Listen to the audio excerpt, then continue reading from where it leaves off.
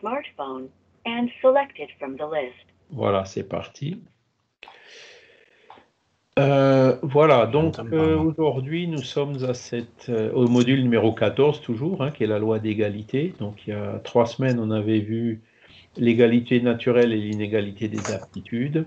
hein. Ensuite il y a deux semaines on avait vu les inégalités sociales, les inégalités de droit entre l'homme et la femme. hein, qu'on avait vu que l'égalité naturelle elle est assurée au, au moment, par la création même.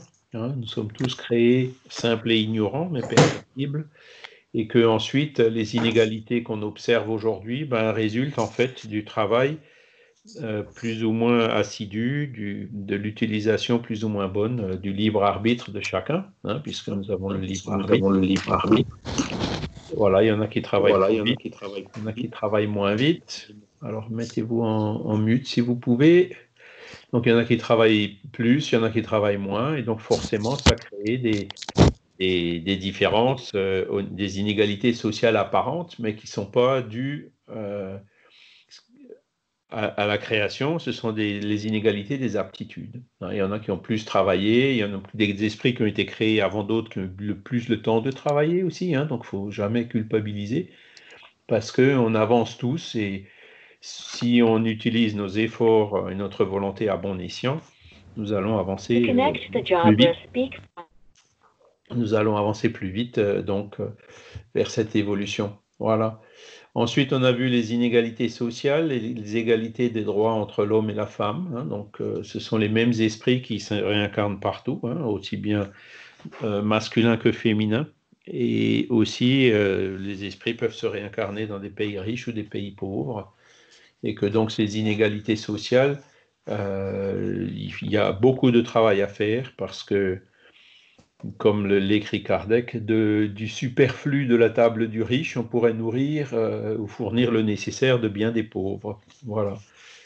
Et ça, c'est vraiment quelque chose euh, qu'il faut, il faut travailler à, réduire ces inégalités, à faire de sorte que chacun, chaque être humain puisse avoir au moins le minimum. Quoi. Voilà. Et aujourd'hui, on va voir euh, le- les riches et les pauvres, hein, plus, euh, plus, euh, plus en détail. hein. Inégalité des richesses, les épreuves de la richesse et de la pauvreté. Alors j'en profite, je vous pose tout de suite une question. À votre avis, il vaut mieux être riche ou il vaut mieux être pauvre? Pauvre, pauvre. Le matérialiste, lui, il répond, il vaut mieux être riche. hein. Ah, C'est un choix difficile à faire. Voilà. Et puis, euh, euh, le spiritualiste, lui, il a tendance à dire, bah, il vaut mieux être pauvre.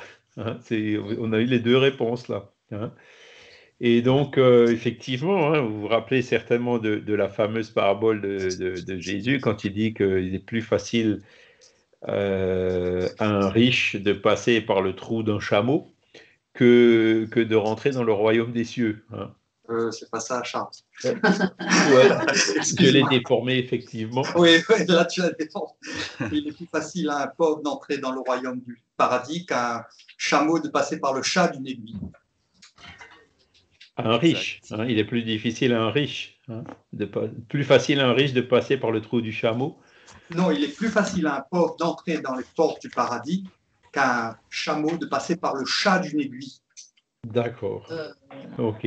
Bon, euh, désolé pour le, le- le petit, le petit dérapage là.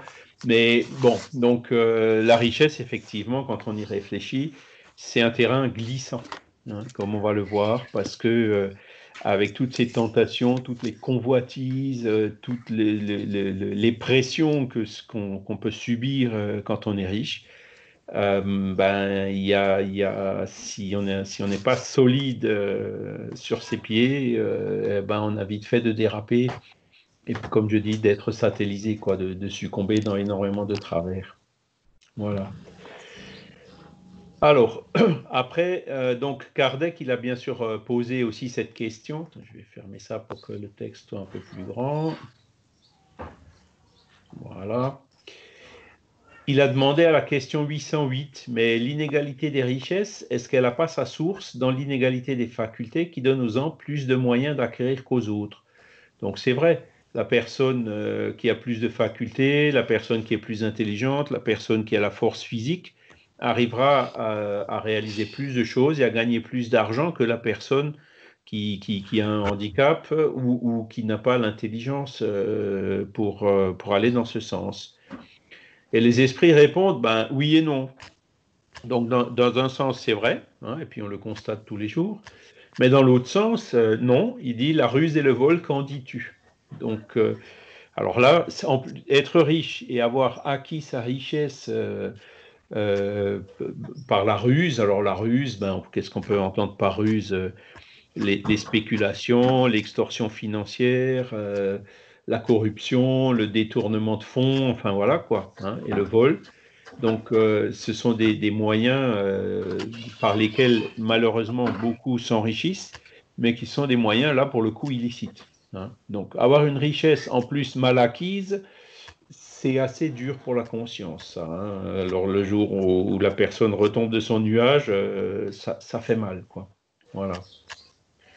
Après, il parle, il a demandé aussi, oui, mais est-ce qu'il est, est légitime que la richesse héréditaire n'est pourtant pas le fruit des mauvaises passions? C'est-à-dire que, comment dire, euh, si vous naissez dans un foyer riche, euh, vous héritez beaucoup de choses, vous devenez riche sans forcément avoir été obligé de faire beaucoup d'efforts. Hein. Et, après, ben, les, esprits toujours répondent, toujours dans cette même question 808, qu'en sais-tu hein? Remonte à la source et tu verras si elle est toujours pure. Sais-tu si, dans le principe, elle n'a pas été le fruit d'une spoliation ou d'une injustice? Donc là, euh, effectivement, hériter d'une richesse mal acquise, ah, c'est aussi quelque chose qui est, enfin, je veux dire, dans le code civil, ça s'appelle du recel, hein, vous voyez? Donc, euh, euh, tout ça, ce sont des questions qui, comment dire, la richesse mal acquise, c'est quelque chose qui profite dans une vie, mais qui ensuite, hein, quand l'esprit se retrouve de l'autre côté sans rien, hein, puisque je le rappelle encore je le rappelle à chaque leçon pratiquement, le jour où on retourne de l'autre côté, euh, ben, tous les biens matériels, euh, toutes les richesses, restent ici. Hein. On n'emmène que euh, notre conscience, nos acquis intellectuels et moraux. Et donc là, une richesse mal acquise, ça pèse sur la conscience. La conscience, elle, elle, peut être bonne ou mauvaise, et on emmène la conscience plutôt mauvaise. Et en plus, si on a, je dirais, abusé de quelqu'un, eh ben on a en plus ces quelqu'un, les esprits correspondants qui viennent se rebiffer et euh, chercher réparation auprès de nous, qui peuvent encore nous poursuivre. Voilà. Donc, ce sont des choses, il y a beaucoup de choses qui passent, des vols qui, sont, qui passent inaperçus, qui sont oubliés, ou qui passent à travers les mailles euh, ici sur la Terre, mais dans l'au-delà, il n'y a rien qui passe à travers les mailles. Hein. Donc, euh, c'est pour ça qu'il vaut mieux être clair, vaut mieux avoir la bonne conscience, vaut mieux être à la limite volé que d'être volé, hein, enfin que de voler il vaut mieux être victime que, que, agresseur. Encore une fois, parce que pour la conscience, ce sera ce qui nous aidera le plus quand on arrivera de l'autre côté. Et si on a été volé, c'est que certainement, c'est la loi de cause à effet des vies passées qui vient s'appliquer pour qu'on subisse nous-mêmes dans notre peau des choses qu'on aurait pu, dans d'autres vies, faire subir à d'autres. Voilà. Et après, dans l'Évangile selon le spiritisme, donc euh, Kardec nous dit les biens de la terre appartiennent à Dieu, qui les dispense à son gré, et l'homme n'en est que l'usufruitier. Donc, vous voyez, c'est bien dit. Tout ce qu'on a ici, même notre corps physique, c'est c'est un usufruit qu'on a. Ça ne nous appartient pas. Voilà. Et donc, euh, ce que Dieu nous donne, ben, on, est responsable d'en prendre soin, de l'administrer euh, plus ou moins, de façon plus ou moins intègre et intelligente. Voilà. Et alors la question euh, vraiment du sujet d'aujourd'hui, c'est la question 814. Pourquoi Dieu a-t-il donné aux uns les richesses et la puissance et aux autres la misère? Hein C'est vrai qu'il y a des gens qui naissent dans, des, dans des foyers riches, les autres naissent dans des bidonvilles. Pourquoi ces choses-là? Et là aussi, les, réponses sont claires, hein, euh, pour les éprouver chacun d'une manière différente. D'ailleurs, vous le savez, ces épreuves, ce sont les esprits eux-mêmes qui les ont choisis et souvent ils y succombent. Ça veut dire que euh, naître dans un, foyer riche ou naître dans un foyer pauvre, c'est une décision que l'esprit prend, pas systématiquement, mais très généralement, dans la majorité des cas, avant de se réincarner. Voilà. Donc il y a des esprits qui, qui choisissent de naître riches. Pourquoi? Eh bien pour euh, exécuter une mission, etc. Hein. Euh, D'autres qui naissent pauvres. Pourquoi ben, Là aussi, parce que peut-être la mission d'avant, quand ils avaient choisi de naître riches, ils n'ont peut-être pas exécuté comme euh, ils auraient dû, et donc euh, pour, ils veulent pour se renforcer, ils choisissent une existence pauvre. Hein, voilà. Et ce que disent, euh, ce que disent, ce que disent la suite nous dit, souvent ils y succombent. Ça veut dire que oui, je vais être riche, comme ça je pourrais faire beaucoup de charité, je pourrais faire une entreprise, euh, employer beaucoup de monde, donner du travail à beaucoup de gens, etc. Mais après, euh, ben, quand on est dans la quand, l'esprit se retrouve dans la situation, eh ben, il tombe dans les travers, quoi. Il rentre dans le superflu, dans le luxe, euh, dans tous les travers euh, de tous ces multiples pièges qui nous sont tendus ici. Hein. Il avait promis d'y résister, mais finalement, il y a succombé quand même, quoi. Et puis pour la pauvreté, c'est pareil. Euh, la pauvreté, ben, c'est vraiment euh, une épreuve difficile qui nous aide à, vraiment nous contenter du nécessaire hein, et, et, donc d'oublier complètement tout ce qui est superflu. Vous voyez, c'est la position opposée. Mais il y en a d'autres, là aussi, qui euh, se rebiffent par rapport à ça, qui se révoltent ou qui, qui, qui entrent dans, qui commettent des délits ou, ou, qui réalisent des commerces illicites, etc., euh, pour là aussi échapper à cette, à cette vie, euh, je dirais, de, pauvreté, hein, de moyens limités, qui euh, leur aurait permis de développer euh, leur, les qualités qui sont, qui sont liées à cela. Voilà. Et il, a, il ajoute encore à la question 815, la misère provoque la murmure contre la providence et la richesse excite à tous les, et les excès.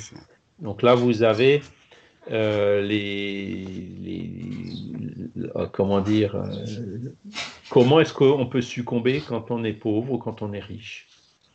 Voilà. Alors je vous repose la question est-ce qu'il vaut mieux n'être riche ou pauvre? Laquelle oh. des deux est la plus difficile? Laquelle des deux est la plus facile? La pauvreté est plus facile. Oui, bah oui, c'est effectivement ça, hein, on le voit. Euh, que, bon, alors, euh, murmurer contre la Providence, c'est le risque, évidemment, puisque le pauvre qui, qui, est confronté, qui voit toutes ces inégalités, qui voit euh, tous ces abus euh, près de lui, autour de lui, euh, tous ces gens qui ne partagent pas, etc., ben, se sent quelque part victime, et puis là aussi, il y a quand même beaucoup qui, murmurent contre la Providence, comme c'est écrit là, quoi. Hein? Voilà. Et du côté de la richesse, effectivement, euh, c'est assez difficile de voir euh, des, riches qui sont généreux, même si ça existe. Il ne faut pas généraliser. Ok, est-ce que vous avez des questions à ce stade? Non, non, c'est clair oui. pour le moment. Voilà, alors on Moi, va continuer. Donc, 816, oui, pardon? Oui, Charles, oui, bonjour. Bonjour à tous.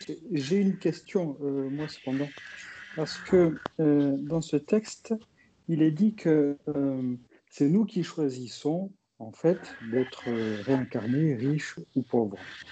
Et que c'est assez difficile. Puisque... Oui. Allô? Nous choisissons des épreuves qui sont souvent au-delà de notre portée? Est-ce que euh, quand on est là-haut, est-ce que nous choisissons, nous sommes peut-être, euh, au lieu de rester dans l'humilité et se dire non, il vaut mieux que j'essaie de faire ceci, ce palier-là, que je vais pouvoir arriver à franchir? Est-ce qu'on se fixe des objectifs qui sont inatteignables? Euh, Moi, je ne comprends pas pourquoi on succombe la plupart du temps et puis on recommence et on succombe à nouveau. Et ça me, je sais pas, je comprends pas ça. Alors, Alors si quelqu'un peut m'expliquer, merci. Donc, c'est effectivement une question très intéressante parce que euh, donc il y, y, a deux choses. Euh, y a, en fait, il y a deux, deux cas euh, deux cas. Le premier cas, il y a des esprits qui sont dans une situation de trouble assez forte hein, pour diverses raisons. D'autres aussi qui n'ont pas les moyens de décider pour eux-mêmes. Ça représente aujourd'hui quand même une minorité. Et pour ces esprits-là, en fait, ce sont les guides spirituels qui choisissent à leur place ce qu'il y a de mieux pour eux. Hein, pour, pour, chacun de ces esprits. Mais dans la majorité des cas, hein, c'est nous-mêmes qui choisissons le, genre d'épreuve que nous voulons subir. eh bien, moi, c'est dans ce cas-là que je ne sais pas pourquoi, si, si c'est nous qui choisissons ces épreuves, pourquoi on se fixe des, des barres aussi hautes et du coup, on succombe, il faut qu'on recommence la fois suivante. Alors, il faut qu'on se, place dans, faut qu'on se place dans le monde spirituel. Hein. Donc, quand on se place dans le monde spirituel, euh, on, voit le tout ce qu'on a parcouru, on voit les erreurs qu'on a pu faire, on voit euh, la quantité de travail qui nous reste à faire pour évoluer. Hein.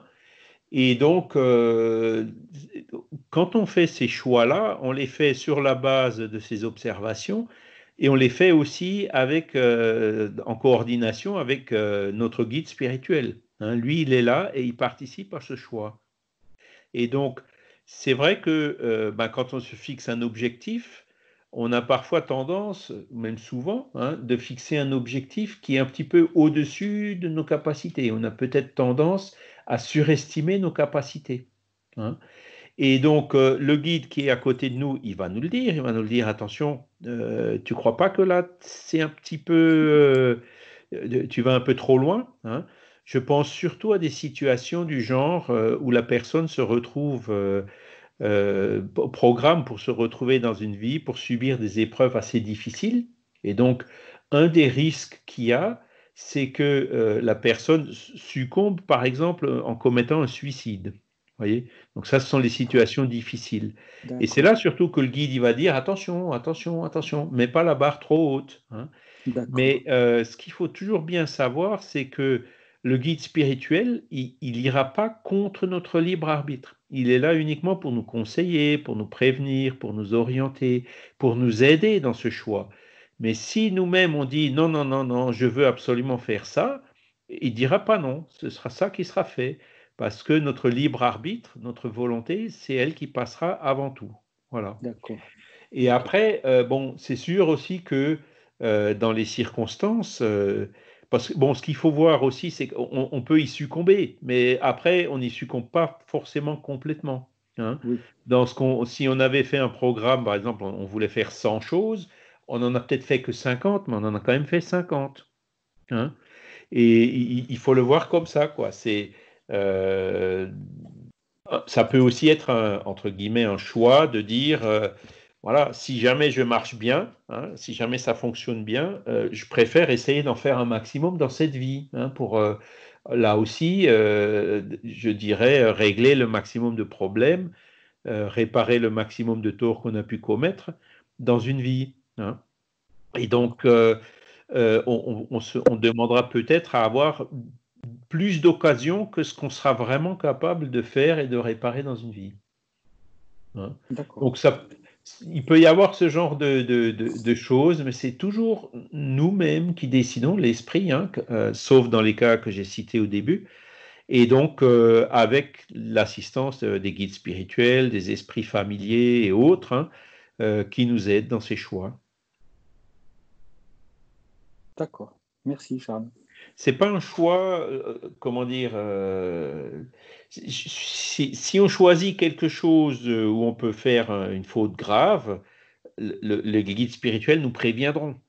Hein. ils, nous le diront, attention, attention, attention. Mais si la personne vraiment insiste, ben c'est c'est son libre choix qui prévaudra. Voilà. D'accord. Parce que après, ce qui, pardon? Euh, vas-y, vas-y, continue. Je voulais juste euh, rajouter un petit, euh, un petit exemple. de Chico Xavier dans ses livres qui, Oui, que- qui, parlait de, justement de ce problème que, que, la, que la personne qui est intervenue là a posé et qui disait qu'il y en a aussi qui réussissent et on, les a- on les appelle, ils sont félicités euh, lorsqu'ils reviennent dans le monde des esprits, on les appelle les grands compléteurs, ils arrivent, ils arrivent avec un titre. Ils ont réussi à faire tout ce qu'ils avaient programmé dans, dans la vie précédente pour euh, la vie qu'ils viennent de quitter.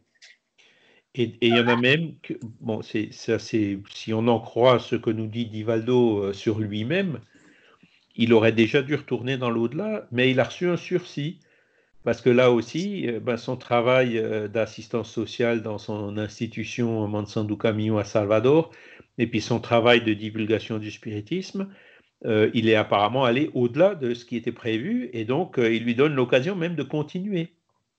Donc, même ces choix qu'on fait avant de naître, à un moment donné, ça peut, oh, c'est pas gravé dans le marbre. hein. Il, y a, il y a, ça peut se, entre guillemets, se renégocier. Et ça se passe ben, pendant notre sommeil, quand on va voir les guides spirituels. euh, voilà, on fait ses demandes par les prières ou autres. Et donc, euh, il n'y a rien qui est absolument gravé dans le marbre, hein, parce que euh, le but premier, encore une fois, c'est notre évolution. Donc, si ça se passe bien, euh, ou même si ça se passe mal, à mon avis, il peut y avoir euh, des, des renégociations qui disent bon ben là, je vais réduire un peu la voilure, ou dans un autre cas, j'ai dit ben écoute, on va continuer un peu plus longtemps. Vous voyez, ce genre de choses est, est tout à fait possible. Et donc, ça va bien à la- à- à- dans, dans le sens de cette liberté euh, et de la miséricorde euh, divine. Oui? J'aimerais te poser une question. Pourquoi est-ce qu'on ne s'en souvient jamais de tout ça? Parce que, euh, comment toutes dire ces, Alors, toutes ces nuits où on va dans l'au-delà, dans l'astral, où on discute, où on prend des cours, pourquoi jamais, jamais on ne se s'en souvient? Enfin, la plupart des gens. voilà, il ne faut pas dire jamais. Parce Oui, que, bien sûr, la plupart des gens. Personnellement, c'est pareil, je, je, je me rappelle pratiquement jamais de mes rêves. Mais de temps en temps, je m'en rappelle. hein. c'est peut-être 1 sur 100, eh ben, ça suffit. hein. Ça, c'est- le message, il est clair, tu vois. Et puis, la- la- l'autre euh, chose, c'est à un moment donné, quand on est devant des grands choix dans notre vie, eh ben, on se recueille, on réfléchit, on se pose, on médite. Et là aussi, euh, clairement, il y a la voix de la conscience qui parle. No- Notre, notre guide spirituel, euh, il, il nous fait bien sentir les choses aussi à ce moment-là, tu vois. Alors, tout ça, c'est un peu subtil, hein. C'est pas j'entends clairement dans ma tête, il faut que j'aille à droite ou il faut que j'aille à gauche ou il faut que je fasse ceci ou que je ne fasse pas cela. Parce que ça, ce serait aller contre notre libre arbitre. Parce que c'est avec notre volonté qu'on va décider de faire ou de ne pas faire, ou d'aller à droite ou d'aller à gauche. Tu vois Et c'est là c'est ça qui fait qu'on en aura tout le mérite. hein. Mais dès qu'on prend une décision et qu'on va quelque part, hein, ou qu'on, si supposons on va à droite ou à gauche, et ben après, si on écoute notre conscience, on sentira qu'elle est plutôt bonne ou qu'elle est plutôt pas bonne. Voyez Et là aussi, euh, rien n'empêche de dire ah ben attends, je pense que je me suis trompé de venir à gauche, euh, je vais revenir en arrière et aller à droite. Tu vois ce que je veux dire? C'est c'est cette euh, Ah oui, comment dire comprends. cette syntonie avec le guide spirituel qui est, qui est très subtile. Et là, ce que je voudrais dire, c'est si jamais bon, vous recevez des communications médiumniques euh, signées de votre guide spirituel qui vous dit tu dois faire ci ou tu dois faire ça, ce que je vous conseille, c'est de mettre ça à la poubelle. hein. Parce qu'un guide spirituel ne parlera jamais comme ça. Il vous donnera des conseils, il vous dira fais attention à ci, euh, réfléchis à ça, mais il vous vous donnera jamais des ordres. Vous voyez? Parce que les bons esprits ne vont jamais à l'encontre, euh, euh, enfreindre le libre, arbitre de quiconque. Ceux qui font ça, par contre, ce sont les esprits qui cherchent à nous détourner. Et là aussi, c'est un travail qu'il faut qu'on fasse de discernement pour euh, écouter les bons et puis aussi pour savoir détecter les mauvais et puis rejeter leur, leurs assauts, entre guillemets.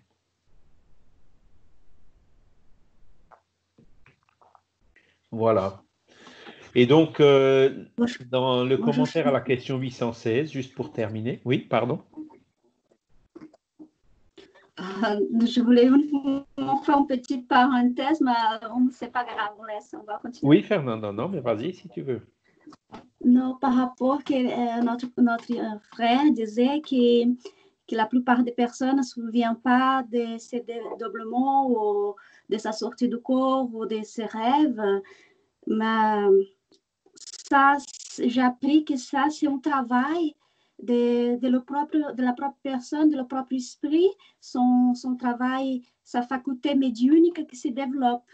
Plus en contact avec euh, son, sa conscience, son, sa essence de son esprit, plus on devient plus conscient et on, on déconnecte plus de notre part matérielle.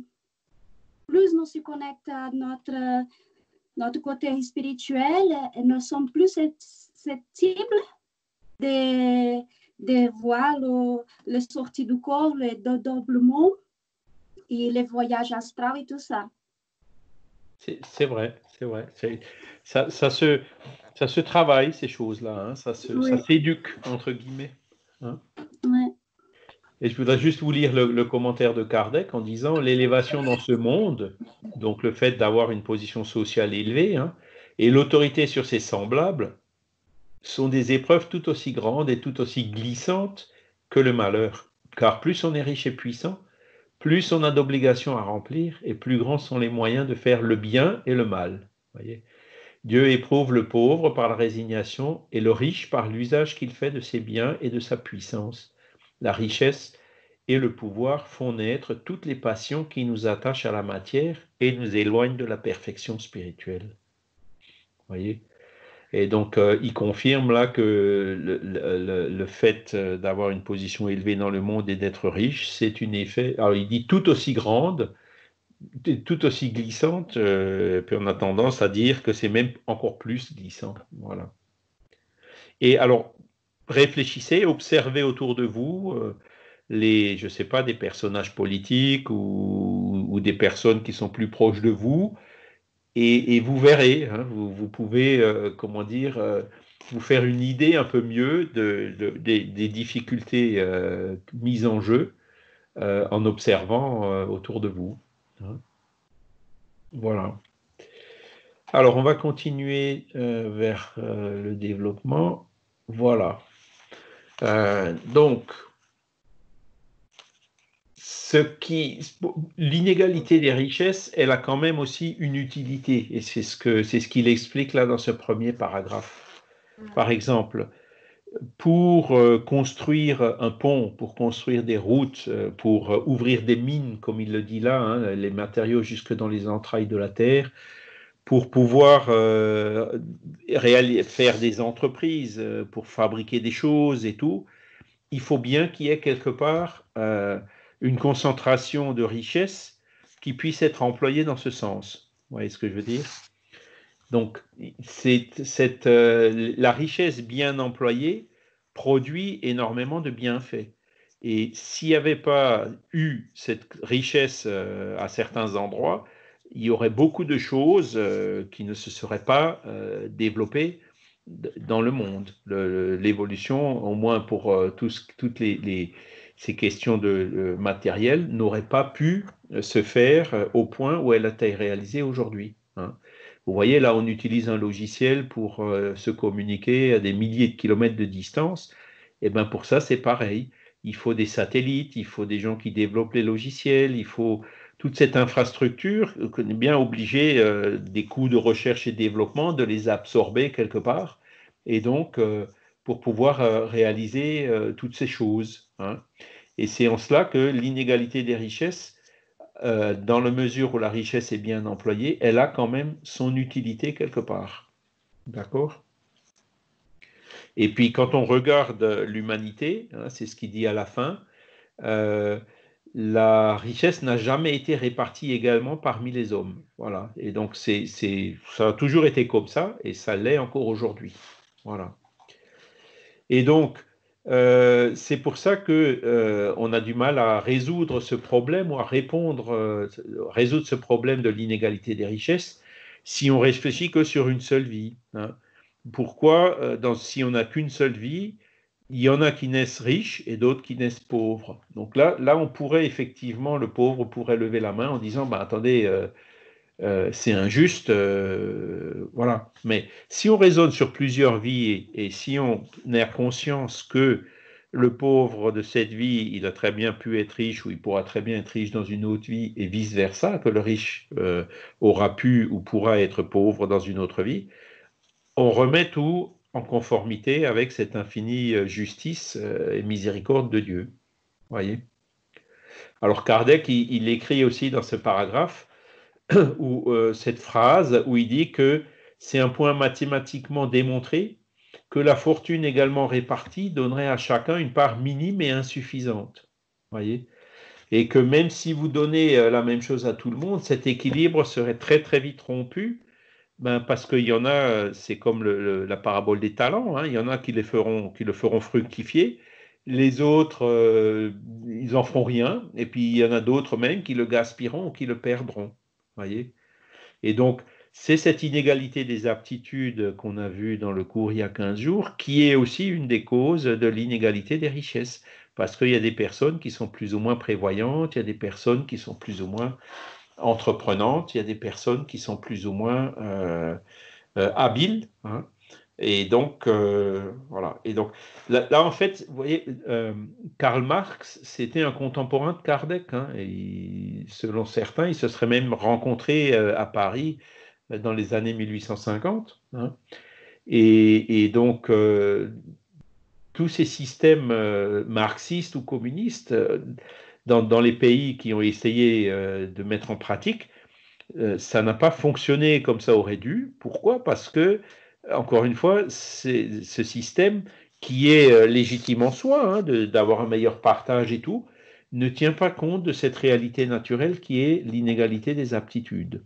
Hein. donc, si vous donnez la même chose à celui qui travaille qu'à celui qui ne travaille pas, le résultat, c'est que très vite, il n'y a plus personne qui travaille. Vous voyez? Ce sont les tendances naturelles et puis ce sont les, comment dire, euh, les travers euh, de, de, ce système. Maintenant, euh, la méritocratie, évidemment, elle peut là aussi être poussée à l'extrême, hein, où il y a des gens qui très habiles qui deviennent très riches de façon complètement inutile vous voyez, un système de donner tout à tout le monde et l'autre qui est de vraiment le, libéralisme euh, effréné qu'on voit bien aujourd'hui, on est dans les deux extrêmes. Hein. Et le système euh, qui donnera un meilleur équilibre et un meilleur partage, qui permettra d'avoir euh, des sociétés plus égalitaires et plus justes, il est quelque part au milieu. Voyez hein. C'est pour ça que je dis toujours les positions extrêmes ne sont pas bonnes. Il faut qu'on fasse tout ce qu'on peut pour les éviter parce que euh, ni, ni l'un extrême ni l'autre, ça crée des dissensions, ça crée même des violences, et il vaut mieux toujours chercher des positions euh, intermédiaires, des positions plus raisonnables, progressives, de consensus, euh, etc., qui permettront d'avancer mieux et plus vite. Voilà. Mais aujourd'hui, c'est ce que je disais au départ, ce qu'on ne peut pas admettre, c'est qu'il y ait encore des gens dans le monde qui manquent du nécessaire. Voilà. Il ne faut pas donner des mauvaises habitudes, hein. il faut plutôt apprendre à pêcher que de donner du poisson, il faut le faire intelligemment, hein, comme on le dit toujours. Mais euh, il y a des gens qui se trouvent dans des situations difficiles, il y a, parfois, euh, comment dire, des famines dans certains pays à cause des conditions climatiques ou d'autres facteurs. Et là, il faut que la solidarité internationale, qui existe déjà, se renforce et faire de sorte que ben, de ces 125 millions ou de ces 250 millions de personnes qui n'ont pas euh, le, minimum nécessaire, notamment au niveau de la nourriture, euh, que ce chiffre se réduise ou, arrive euh, idéalement à, zéro. Alors, je cite l'exemple du Brésil. Donc, il y avait le gouvernement Lula, là, le fameux. Alors, bon, je, je, passe à côté de tous les travers et de tous les dérapages qu'il y a eu derrière. Donc, vous voyez, même des gens simples comme Lula, qui était un simple ouvrier, à qui il manquait euh, des parties de doigts euh, dans un accident de travail qu'il a eu et tout. Euh, il, il, a accédé au gouvernement. Donc, il a un programme qui a bien marché au Brésil, c'est fin zéro. Hein, il dit, je veux plus qu'il y ait des gens qui aient faim au Brésil.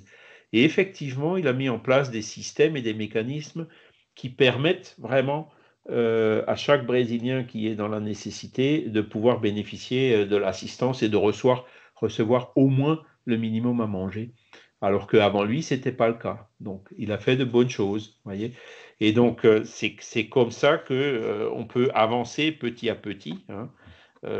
Mais Lula donc, nous donne aussi l'exemple que bah, lui, avec l'influence de son fils, bah, ils ont succombé dans, des, dans de la corruption qui a fait que, je ne sais pas s'il est toujours en prison, mais voilà, il, a, fait de la prison, et je crois même qu'il y est encore. Voilà. Et donc, ça montre bien, c'est un exemple qui illustre bien, donc, dans une vie, on peut faire de bonnes choses, mais on peut aussi en faire de moins bonnes, quoi. Et parce qu'on réussit jamais tout comme ça du premier coup, hein. c'est pas facile. Mais encore une fois, c'est une question de volonté, une question de réflexion, une question de discernement. Voilà. Et c'est dans ce paragraphe aussi que Kardec il utilise le mot aiguillon, voyez, parce que euh, on parle souvent de la souffrance. Hein. Donc la souffrance n'est pas nécessaire euh, à l'évolution, mais souvent, euh, c'est quand on souffre hein, que, le petit aiguillon de la souffrance nous pique. C'est là où on réfléchit, on se remet en question, où, on, se pose les bonnes questions et on se réveille pour faire ce qu'il faut pour avancer. Et puis cette pandémie du Covid qu'on voit aujourd'hui, où tout le monde y est exposé, tout le monde peut l'attraper, tout le monde peut en mourir, hein, riche ou pauvre d'ailleurs. Hein, euh, ben, c'est quelque chose qui, ça fait partie de ces aiguillons qui sont là pour interpeller notre conscience et puis pour nous aider à réfléchir et à avancer. Voilà. Alors, d'où vient cette inégalité des richesses? Donc, euh, ça vient, et ça, je vais avancer un petit peu parce que le temps passe, ça vient de, euh, de, l'égoïsme. Hein le, fait qu'il n'y en ait pas euh, des gens qui n'aient pas le nécessaire ben, et d'autres qui, ont du superflu, ça vient de l'indifférence ou de, l'égoïsme. Hein. C'est, ce, sont, ce sont ces sentiments qu'il faut vraiment qu'on travaille, qu'on lutte contre. Et au, fur et à mesure que l'égoïsme diminuera dans le monde, au fur et à mesure que euh, les humains comprendront que l'égoïsme, ça ne les aide pas, au contraire, dans leur propre évolution, que l'égoïsme, c'est pas dans leur propre intérêt hein, d'évolution spirituelle, eh ben, l'égoïsme diminuera et, tous ces problèmes euh, se résoudront beaucoup, beaucoup plus facilement. Voilà.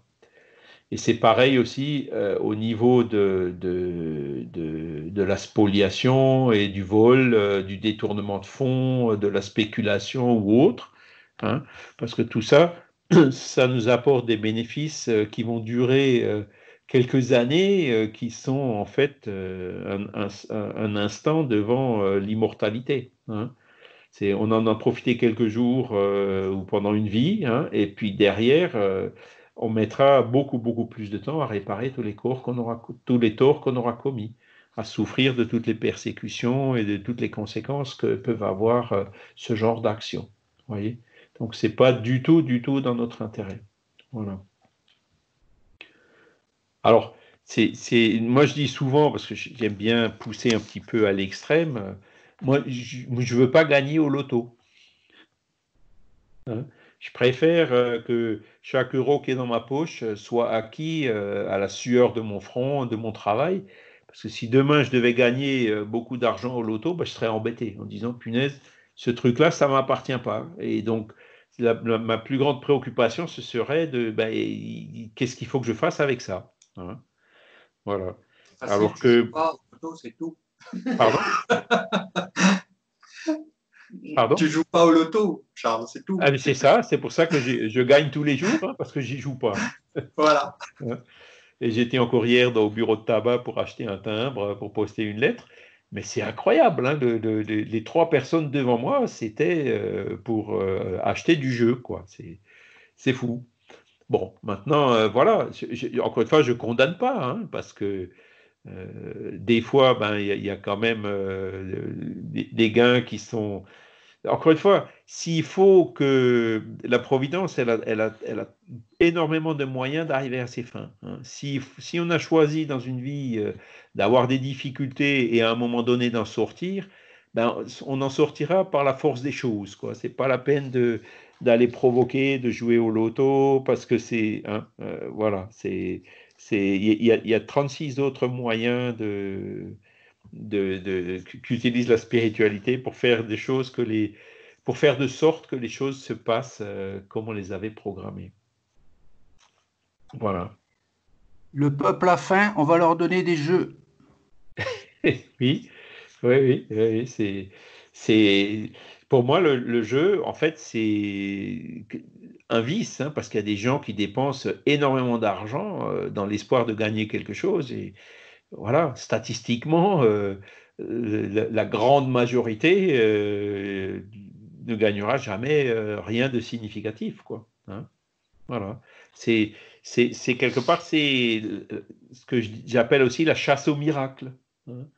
La chasse au miracle financier, la chasse au miracle au niveau des, on l'a vu aussi pour le Covid, hein, au niveau des médicaments miracles, ça y est, avec ce médicament, euh, je vais en prendre, comme ça je l'attraperai pas et tout. Ben, ouais, c'est pas si simple, c'est pas si facile, c'est pas si évident et euh, le spiritisme est clair, euh, les miracles n'existent pas. Tout se passera selon les lois de la nature qui, qui, sont parfaites et donc qui n'ont pas et qui n'ont pas besoin de dérogation. Hein. Donc la chasse au miracle, la chasse au trésor, ce sont des choses qui sont complètement inutiles. C'est des rêves, c'est même des choses qui sont utilisées hein, par ceux qui cherchent à faire de l'argent sur notre dos, sur le dos des autres, euh, hein, ceux qui promettent euh, des miracles. On le voit, alors je ne veux pas trop critiquer euh, certaines les églises, mais il y a certaines églises qui remplissent les salles parce que elles promettent des guérisons, elles promettent la résolution de problèmes, elles promettent la lune, quoi, quelque part. Hein. Et nous, on sait très bien, en tant que spirit, que c'est pas comme ça que ça fonctionne ce sera suivant l'effort individuel, suivant la volonté de chacun. Voilà.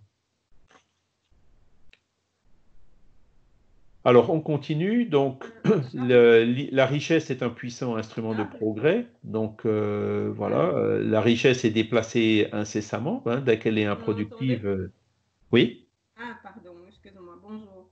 Bonjour. Je voulais simplement revenir sur quelque chose que tu as parlé là, oui. sur la richesse et le pouvoir.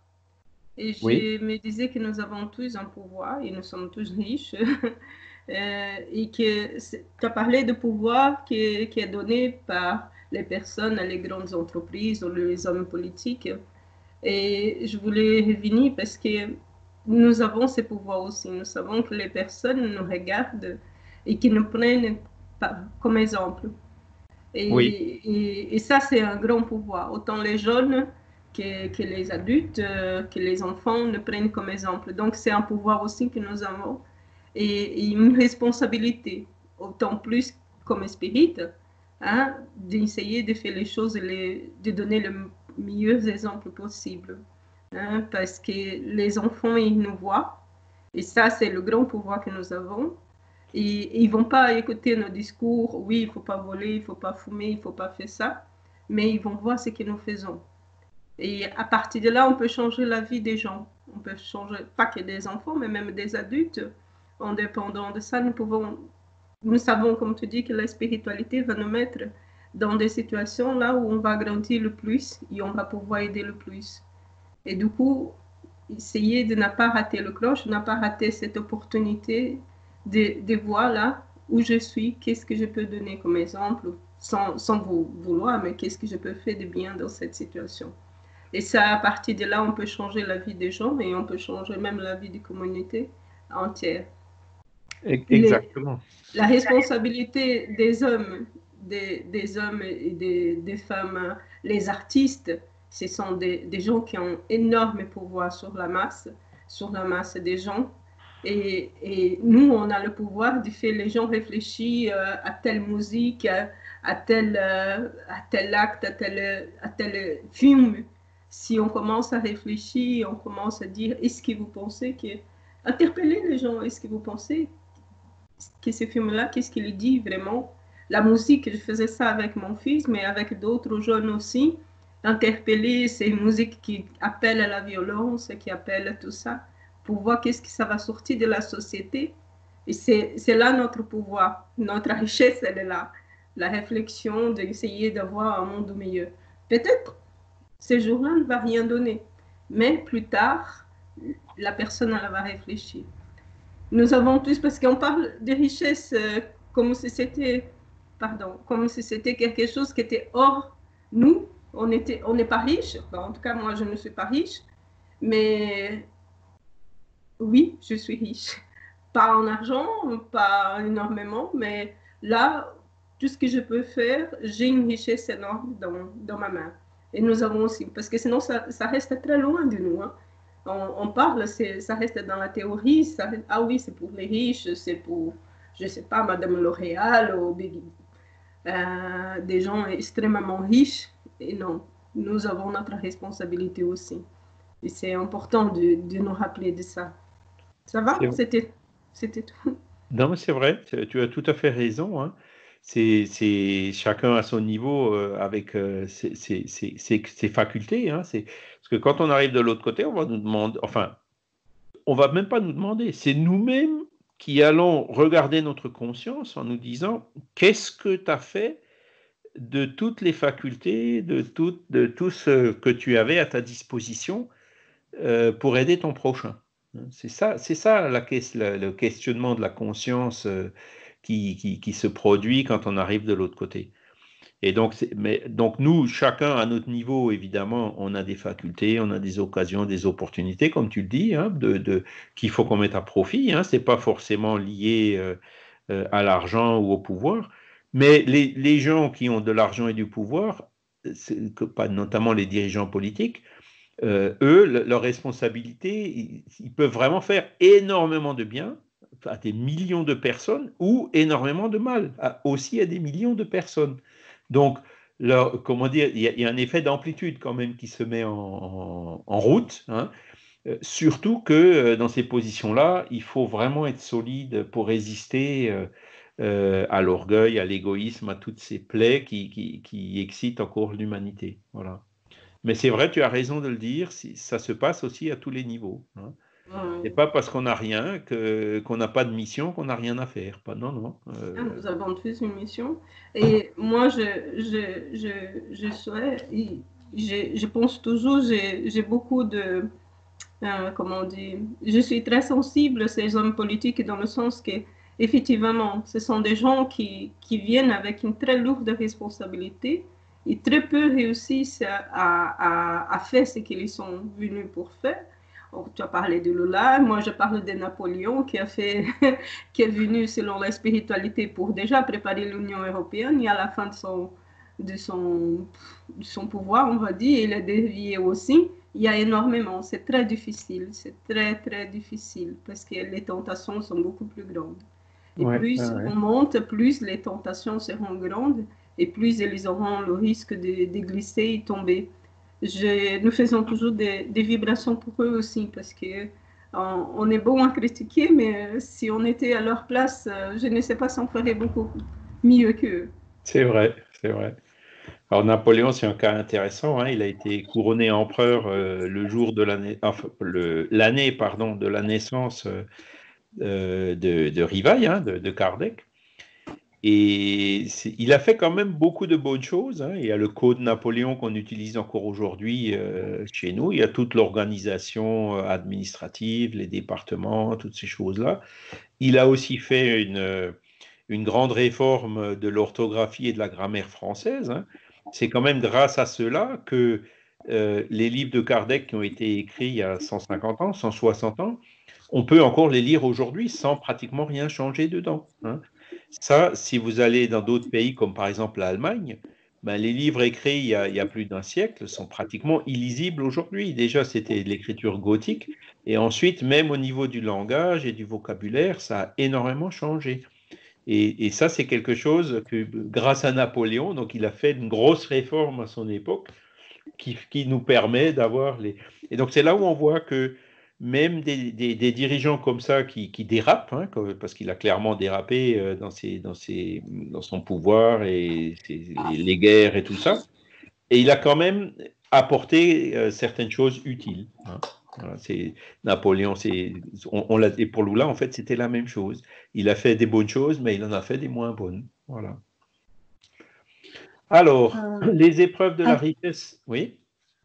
euh, uniquement euh, le qui a dit, je crois que c'est Marciano, c'est bien Marciano Non, c'est Lénir, je pense. Ah, pardon, alors, Lénie, Oui, c'est la voix, la voix, ça ressemble à de Marx.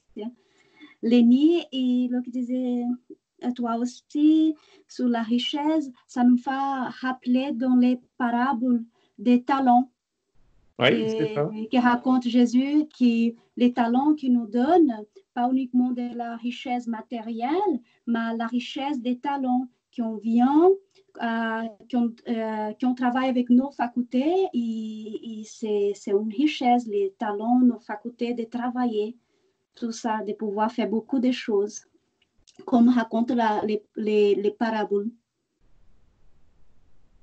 Oui, c'est ça, oui. Alors là, là on, on voit maintenant ce que je vous montre à l'écran, c'est euh, justement cette question de choix. Et, et là, en fait, il y a un complément de réponse à la question que nous a posée tout à l'heure. Il me semble que c'est Michel, hein, c'est ça? Euh, il peut paraître étrange que les esprits choisissent des épreuves douloureuses comme celle de la misère, tu vois. Pourquoi est-ce qu'il y a des esprits qui choisissent ça? Et quand on est ici sur la Terre et qu'on voit ça donc sous l'influence justement de, de- des idées charnelles, hein, comme il écrit, euh, on, voit vraiment le côté pénible dans ces épreuves, hein, parce que euh, il y, y a eu, un, je vais vous citer un cas encore une fois extrême, parce que ça permet bien de comprendre les choses. Euh, on a vu un jour à la télé euh, un reportage, alors je ne sais plus dans quel pays c'était, mais c'était Somalie ou Soudan, enfin c'est vraiment ces pays où la situation est très grave, où il y avait un enfant qui avait, je sais pas moi, 4-5 ans ou 6 ans, qui s'occupait d'un autre qui avait 2-3 ans, et cet autre enfant, il était vraiment dans le sable, il rampait, maigre et tout, et, donc ça, c'est vraiment des images euh, qu'on a vues beaucoup de fois euh, au cours du temps et qu'on voit encore aujourd'hui. On se dit, mais c'est pas possible. Comment se fait-il qu'un esprit euh, choisisse une épreuve comme ça, ou se retrouver tout petit, il quelques années à peine, à ramper dans le sable et, à finir par mourir de faim et de soif? Et à ce moment-là, il y a eu une communication spirituelle qui a été donnée dans un groupe qui disait que euh, cet esprit, en fait, c'était la réincarnation d'un tortionnaire nazi. Et donc, cet esprit, donc, euh, tortionnaire, euh, il avait tellement de choses tellement graves et lourdes sur sa conscience, hein, à avoir laissé des gens mourir de faim dans des camps de concentration, qu'il a lui-même volontairement choisi une épreuve extrêmement difficile pour sentir ça dans sa peau. Et, donc, vous voyez, quand on prend ce recul, on comprend mieux pourquoi il y a ce genre de choses. hein, pourquoi il y en a qui choisissent des épreuves aussi pénibles et aussi difficiles. Moi, j'ai un peu de mal avec ça quand même. hein. Ouais. Je te l'avoue, Charles. Honnêtement, j'ai un peu de mal. Mhm. Et pourtant, c'est le cas, on le voit. euh, ce sont des choses euh, qui existent. hein. Il y a des gens Moi, je qui pense sont que plutôt on est, très on est obligé de, de subir ça. On n'est pas, on choisit pas ça. On est obligé de subir. Je pense plus, je pense plus à ce que dit André Louis dans ses communications avec Chico Xavier. Je suis plus plutôt d'accord avec ce qu'il dit que le fait qu'on choisisse ça. Je pense Mhm. qu'on est obligé de le faire. On n'a pas le choix. Par exemple, là, tu parlais d'un tortionnaire nazi. Je pense pas que lui, il ait eu le choix. On lui a imposé ça. C'est comme l'alcoolique. Euh, Chico Xavier décrit bien ça. Les, addicts à l'alcoolisme, ils renaissent dans des, dans des, dans des, lorsqu'ils ne sont pas capables de, comprendre d'eux-mêmes, d'arrêter d'eux-mêmes, ils renaissent dans un corps d'handicapés ou les addicts à, la- drogue, ils renaissent dans des corps d'handicapés pour pour épurer leur karma, pour comprendre. Mhm.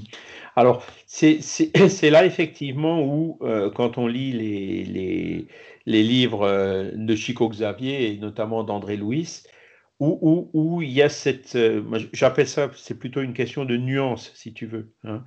Quand on dit que l'esprit est obligé de passer ça, encore une fois, une chose est sûre, c'est que personne ne le forcera à le faire. hein. Il faut plutôt le dire que c'est lui-même, cet esprit-là, qui se sent obligé de passer par là. Mais il n'y a personne qui le force à ça, parce que sinon ce serait une, une- comment dire, une atteinte au libre arbitre. Ce serait euh, rentre- ressortir de l'autonomie et revenir dans l'hétéronomie, tu vois. Et c'est vrai que dans la littérature brésilienne, qui est excellente sur énormément de points, parfois on sent euh, ce petit doute de dire, tiens, euh, euh, le fait que est-ce que cet esprit a vraiment été condamné par saint X ou Y à avoir cette vie-là? à la fin, non, quand on analyse bien la philosophie spirit, l'autonomie et le libre arbitre, ils prévalent toujours. Personne lui a imposé cette vie sans que lui-même, quelque part, il, en comprenne l'utilité et finisse par l'accepter. Tu vois? Sa propre conscience. Donc c'est une nuance. Hein? Sa propre conscience lui, tire vers cette... Quand on fait quelque chose de mauvais, hein, euh, quand on blesse quelqu'un, nous, à notre niveau, quand on blesse quelqu'un, même sans, sans, sans faire exprès, euh, ça reste dans notre cœur, on ne se sent pas bien, on essaye de réparer le mal, on essaye d'aller parler à la personne. Et c'est ces sentiments-là. Ah, maintenant, vous imaginez quelqu'un qui se rend compte, qui, qui se rappelle tous les temps, parce que les esprits qui, qui cet tortionnaire euh, a tué, beaucoup n'ont pas pardonné. Il les rappelle tous les temps, les images qu'il a vues. Donc, l'incarnation, c'est un moment aussi pour lui d'oublier entre guillemets, pendant un certain temps, de tout ce qu'il a fait. Parce qu'il y en a ça, hein. si on s'est rappelé nos incarnations passées, on aurait un grand problème.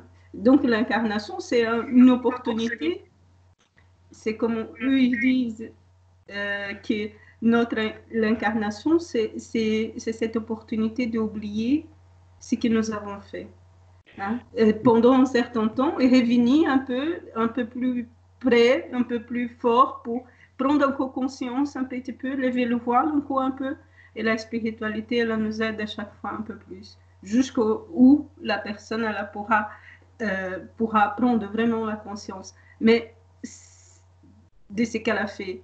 Mais Chic Xavier, il parle beaucoup de ça. Si vous lisez vraiment un peu plus profondément le livre, en tout cas en portugais, on voit bien ça, que c'est le propre esprit, sa propre conscience qui, qui les pousse a fait avoir des incarnations assez dures pour pouvoir oublier. Parce que de l'autre côté, la conscience, elle est beaucoup plus ample. Et c'est pour ça qu'il veut plutôt incarner et accepter ces incarnations difficiles, parce qu'il vaut mieux une incarnation difficile qui s'y rappeler 24 heures, on va dire comme ça, parce que là, ils n'ont pas d'heure, 24 heures sur 24, des images horribles qui se sont passées. Et ça, ça passe aussi par les suicidés, hein. on voit ça. Et si, si on, c'est exactement ce, qui est dit dans la partie surlignée là, que, que vous voyez à l'écran. Euh, dans, le, cas du tortionnaire, euh, ce qui a fait succomber des milliers, voire des dizaines ou même des centaines de milliers de personnes. Imaginez dans toutes ces personnes qui, qui ont donc subi les sévices de ce tortionnaire, combien d'esprits il y en a qui sont, euh, qui sont fâchés contre lui, qui le persécutent et qui le poursuivent dans le monde des esprits, ça doit être une horreur, quoi. Hein. Et donc, euh, après, dans une réincarnation, même dans un enfant très pauvre, comme on l'a dit, euh, quelque part, euh, il, retrouve, je ne vais pas dire, hein, il y en a beaucoup qui certainement arrêtent de le poursuivre dans cette situation-là.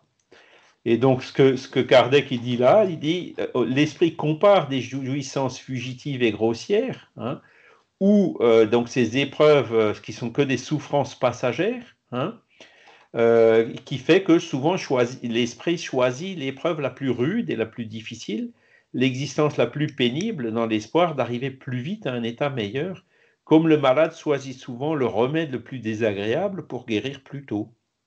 Hein. Donc c'est ce, c'est ça en fait qui se passe dans, dans, dans, l'esprit, euh, auprès de ces esprits qui font que ils ont parfois tendance à choisir euh, des épreuves euh, extrêmement rudes, alors que quand on regarde ça d'un point de vue purement terrestre, on a plus de mal à comprendre. Voilà. Alors la référence 8, attendez, on va aller voir ce que c'est.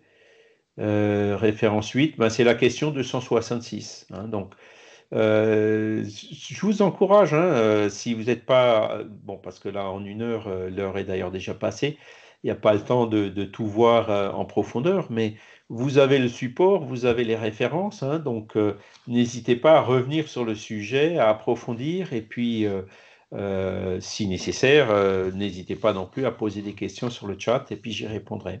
Voilà. Je voudrais dire quelque chose sur, euh, sur ce que tu as dit pour compléter ce que tu as dit. Le, le, système est plus simple que ça. toutes les erreurs, tous les mauvais choix se marquent systématiquement dans, dans, une page de notre père-esprit.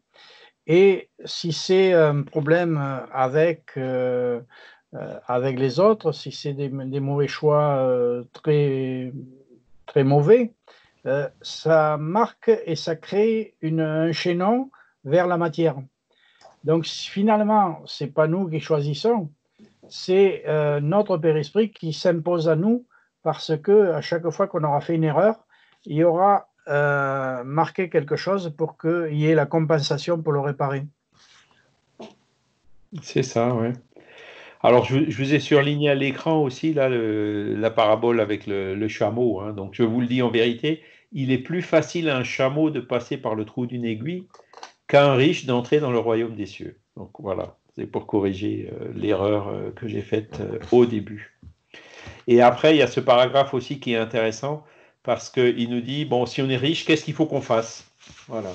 Cherchez dans ces paroles, aimez-vous les uns les autres la solution de ce problème. Là est le secret de bien employer les richesses. Celui qui est animé de l'amour du prochain a sa ligne de conduite toute tracée, l'emploi qui plaît à Dieu. Riche, donne de ton superflu, fais mieux, donne un peu de ton nécessaire, car ton nécessaire est en cours du superflu. Voyez? Mais donne avec sagesse, ne repousse pas la plainte de peur d'être trompé. Ça aussi, c'est une réaction qu'on a souvent mais va à la source du mal, soulage d'abord, informe-toi ensuite, et vois si le travail, les conseils, l'affection même ne seront pas plus efficaces que ton aumône. Répands autour de toi avec l'aisance l'amour de Dieu, l'amour du travail, l'amour du prochain. La richesse de l'intelligence doit te servir comme celle de l'or. Répands autour de toi les trésors de l'instruction. Répands sur tes frères les trésors de ton amour et ils fructifieront. Je suis incapable de dire ça mieux, quoi. voilà. Alors, je pense qu'on a terminé. Euh, est-ce que vous avez des, encore une question sur ce sujet de l'inégalité des richesses?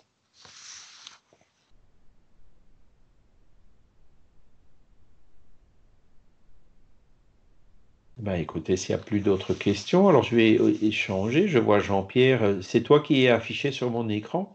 Est-ce que tu accepterais de nous faire une petite prière de fin, s'il te plaît? Bien sûr, avec joie. Merci Jean-Pierre.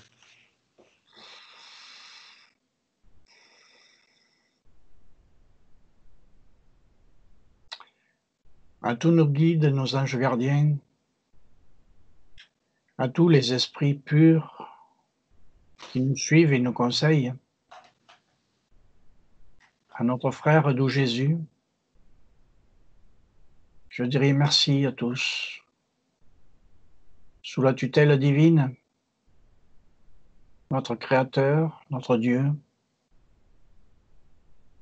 notre Père.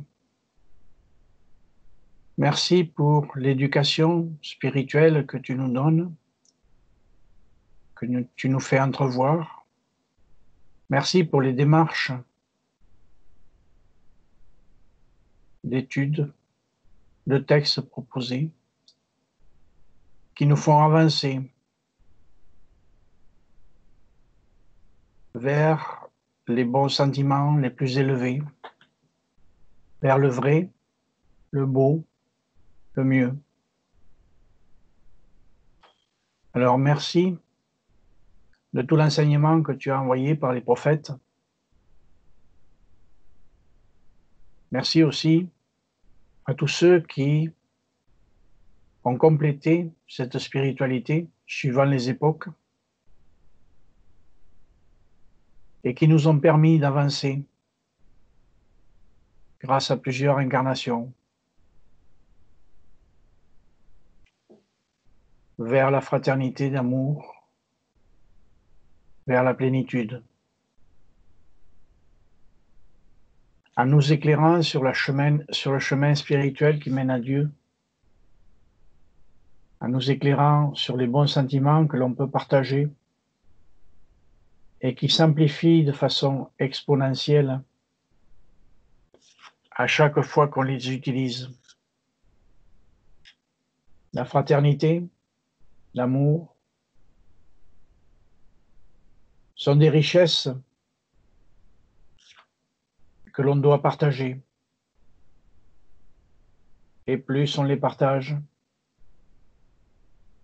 plus on a de choses à partager dans les bons sentiments. Alors merci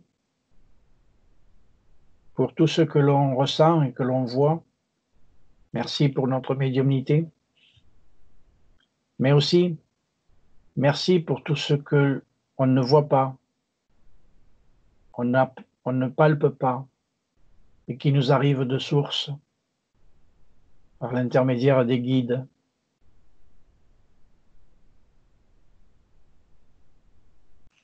Merci pour tout. C'est tout. Merci Jean-Pierre. Merci à tous. Et puis, ben, excellente réflexion et excellent dimanche. Merci. Merci beaucoup à tous et bon dimanche. Bon dimanche à tout le monde. Merci. À bientôt. Bon dimanche à tous. À dimanche prochain. Oui. Merci Charles, bon dimanche, merci. Bon dimanche à tous. Merci Charles. Merci merci Jean-Pierre pour cette bonne prière. Merci énormément. Que les guides soient toujours avec nous, les esprits, les anges gardiens. Amen. Merci. Vous remercie tous.